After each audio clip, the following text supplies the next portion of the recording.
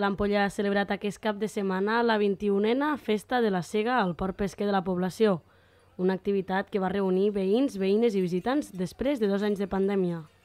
Al llarg del matí, tots els participants van poder conèixer el procés tradicional de transformació de l'arròs, des del moment en què es sega fins que es fica en sacs. Sí, bueno, aquí el que fem és tot el procediment que es fa després de la sega, no? el trillar, el batre a potes, el, el, el ventar l'arròs, no? tot aquest procediment que es fa per a, abans de posar-te al sequer a secar i a ensecar-se. No? La festa també va comptar amb les rondalles Guardel o Cantador i la rondalla Suc d'Anguila, que van amenitzar la jornada.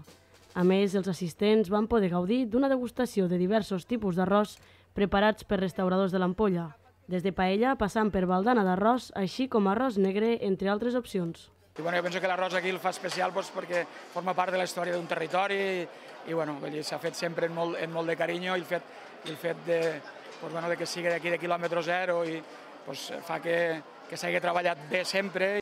Aquest acte ha servit com a tret de sortida per a les 23enes jornades gastronòmiques de l'arròs a l'ampolla, que tindran lloc del 24 de setembre al 9 d'octubre.